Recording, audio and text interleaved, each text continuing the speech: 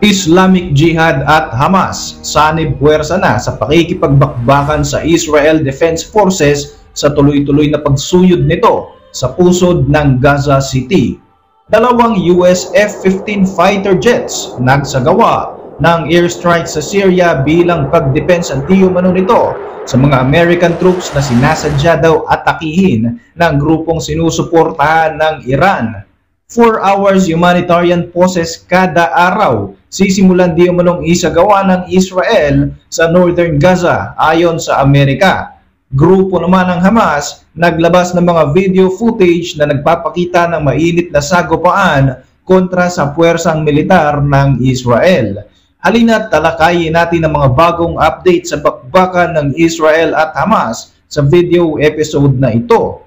Ako po si Royzy and welcome sa Kien Thoughts kung hilig mo ang mga ganitong videos, mag-like at mag-subscribe para lagi kang updated sa mga susunod na upload. Fake news at wala raw katotohanan ang mga balitang magkakaroon ng ceasefire sa pagitan ng Israel at Hamas. Ito ang nilinaw ni Israel Prime Minister Benjamin Netanyahu. Ayon sa punong ministro, ang tanging paraan lang daw para magkaroon ng tigil putukan ay ang pakawala ng Hamas ang lahat ng mga hostages na hawak nito. Sinabi ng IDF na nagawang ma-eliminate ng kanilang 167 Division ang 50 Hamas fighters sa isinagawa nitong operasyon sa Gaza City malapit sa Shifa Hospital sa ilalim ng ospital na ito ay kiniklaim ng Israel na mayroong mga network of tunnels na pinag-iimbakan ng armas ng militanteng grupo. Sa coordinated attacks na isinagawa ng Israeli troops, mga tangke, Yahalom Unit, Special Forces at Air Force, nagawa nilang i-clear ang mga area na ito at i-neutralize ang mga miyembro ng militanteng grupo. Na-recover din ng IDF ang ilang mga dokumento na pagmamayari ng Hamas.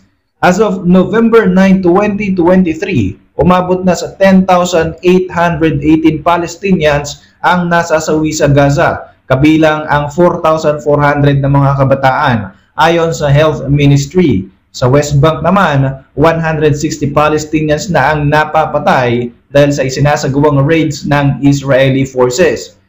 Sa kampo naman ng Israel ay higit sa 1,400 ang nasasawi habang patuloy pa rin na hawak ng Hamas ang tinatayang nasa 240 na mga hostages.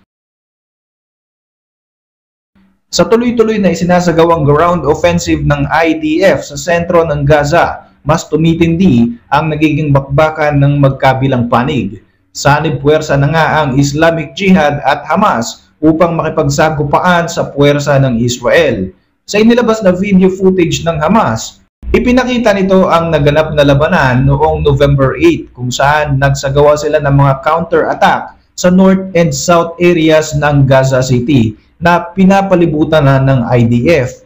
Ipinakita rin nila dito kung paano nila ina-ambush ang mga military vehicles at mga tangke ng Israel military. Ayon sa report ng IDF, 33 na sa mga sundalo ang nasasawi sa kanilang hanay magmula nang maglunsad sila ng ground assault sa Gaza noong October 27. Samantala, 350 Israeli military personnel naman ang kabuuang bilang ng mga nasasawi magmula pa noong maganap ang pag-atake sa Israel noong October 7. Ayon naman kay Abu Obeida, spokesperson ng Al-Qassam Brigade, ang military faction ng Hamas, nagawa na nilang wasakin ang aabot sa 136 military vehicles ng Israel simula nang pasukin nito ang Gaza. Dagdag pa nito na under consideration pa ang release ng mga hostages. Handa raw silang magpakawala ng mga bihag kung papayag ang Israel na magkaroon ng prisoners exchange. Ang libu-libong Palestinians na nakakulong sa Israel kapalit ng mga hostages na hawak ng Hamas. Kaugnay nito, naglabas rin ng isang video ang Islamic Jihad kung saan ipinakita ng Al-Qud Brigade ang kanilang combat operation laban sa tropa ng Israel. Makikita ang ilang miyembro ng Islamic Jihad fighters na naglalakad, bitbit ang kanilang mga malalakas na armas katulad ng mga RPG.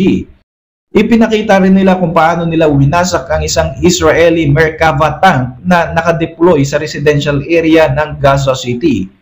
Naglabas din ng isa pang video ng Islamic Jihad kung saan ipinapakita nila ang isang matandang babae at isang batang lalaki na kabilang sa mga hostages na hawak ng dalawang grupo. Kinilala ang mga hostage na sina Hana Katzir at Yagil Yaakov. Ayon sa grupo, handa raw nilang pakawalan ang dalawang hostages na ito dahil sa humanitarian at medical reasons once appropriate conditions were met. Hindi naman nilinaw ng grupo kung ano ang kondisyon na tinutukoy nito sa video. Ang Islamic Jihad ay isang Palestinian militant group na kaalyado ng Hamas at kabilang din sa mga umatake sa Israel noong October 7. Itong itinuturing na second largest armed group sa Gaza na may malalakas na mga armas katulad ng rockets, mortars at anti-tank missiles. Itinatag ito noong 1970 at ang kanilang ultimate goal ay ang wasakin ang Israel at palitan ito ng Islamic State. Ayon naman sa intel ng Israel, milyong dolyar ang tinatanggap ng grupong ito bilang pondo mula sa Iranian government para ipagpatuloy ang kanilang mga isinasagawang operasyon. Pinaniniwala ang may mga headquarters ang Islamic Jihad sa Beirut, Lebanon at sa Damascus, Syria. Samantala, sinabi ni John Kirby, National Security Council spokesman para sa United States, na pumayag na ang Israel na mag-implement ng 4-hour humanitarian process araw-araw upang hayaan ang mga Palestinian civilians na mag-evacuate mula sa combat zone. Dagdag pa ni Kirby na ang ultimate goal ng mga humanitarian process na ito ay upang makahanap ng paraan na masigurong mapapalaya ang lahat ng mga hostages na hawak ng Islamic Resistance Movement. Kaakibat ng 4-hour process, sumang-ayon din ang Israeli military na magdagdag pa ng dalawang humanitarian routes sa northern Gaza upang mas mapadali ang pag-evacuate ng libu-libong Palestinian civilians patungo sa southern part ng teritoryo.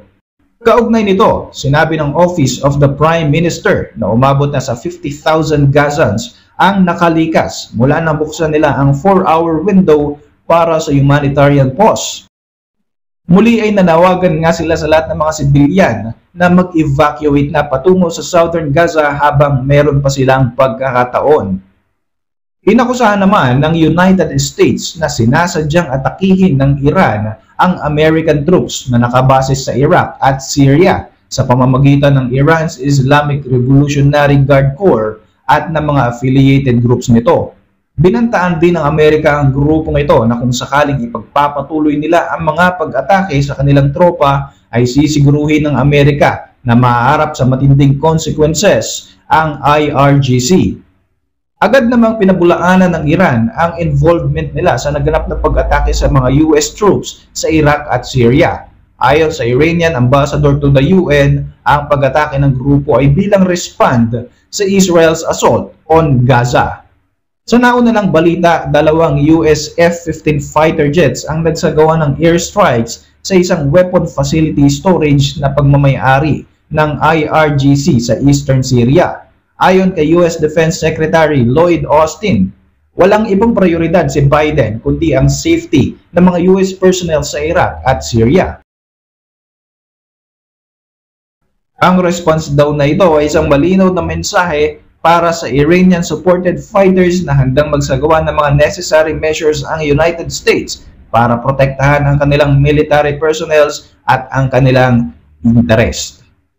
Tila hindi naman natinag ang IRGC dahil muling tinarget ng kanilang mga drones ang dalawang US bases sa Iraq kung saan target nito ang US forces at ang Iraqi Counterterrorism Service malapit sa northern city of Mosul.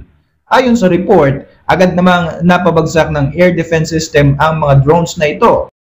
Ang pag-ataking ito ay tila response naman sa isinagawang airstrikes ng dalawang US fighter jets sa weapon facility ng IRGC. Para sa inyong mga reaksyon, mag-iwan lang ng komento sa ibaba ng video na ito. Para manatiling updated sa ating mga susunod na upload, siguruhin mag-subscribe. Like mo na rin ang ating videos bilang suporta. Muli, ako po si Royzy at maraming maraming salamat sa patuloy na pagsubaybay sa ating channel.